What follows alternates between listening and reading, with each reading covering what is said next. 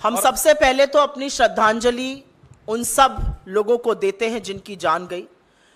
उन सब परिवारों को हमारी संवेदनाएँ जो घायल हुए उनके शीघ्र स्वास्थ्य लाभ की हम प्रार्थना करते हैं। हम बिना लाग लपेट के एक बात डंके की चोट पर कहते हैं कि हिंसा और आतंकवाद के खिलाफ यह देश एकजुट होकर खड़ा है।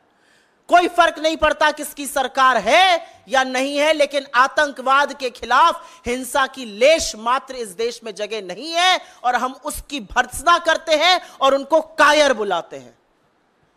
श्रद्धालुओं की बस पर हमला करने वाले कायर हैं और कुछ नहीं।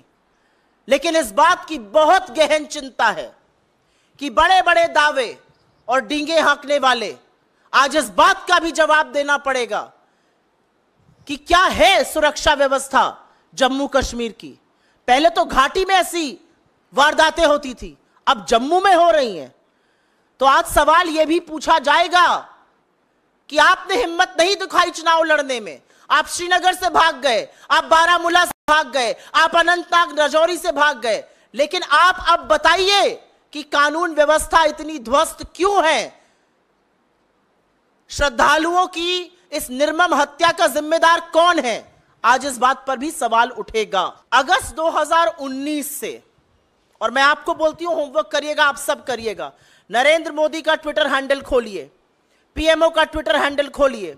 अगस्त 2019 से आतंकी घटनाओं में हमारे जवान शहीद हुए, हमारे ऑफिसर शहीद हुए, पुलिस के लोग शहीद हुए लेकिन नरेंद्र मोदी ने श्रद्धांजलि का एक शब्द तो छोड़ दीजिए, उन हमलों का संज्ञान तक नहीं लिया।